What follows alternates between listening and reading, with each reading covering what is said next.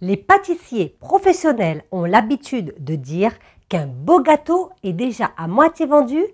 C'est une des raisons pour lesquelles ils ne mettent pas en vente une tarte sans l'abricoter, c'est-à-dire de l'enduire au pinceau avec un sirop d'abricot épais.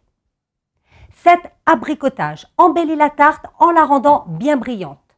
Mais il préserve également la garniture de la tarte, de l'air et donc de l'oxydation et du noircissement.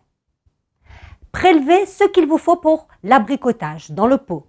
Pour une tarte normale, comptez 2 grosses cuillères à soupe et mettez-le dans une tasse.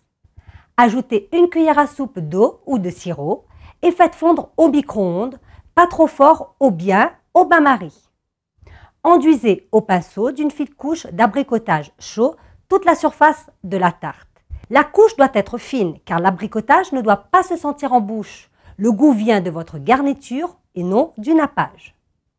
Si l'abricotage refroidit en cours d'utilisation et commence à figer, réchauffez-le à nouveau et reprenez. Votre belle tarte est prête à être dégustée. À très bientôt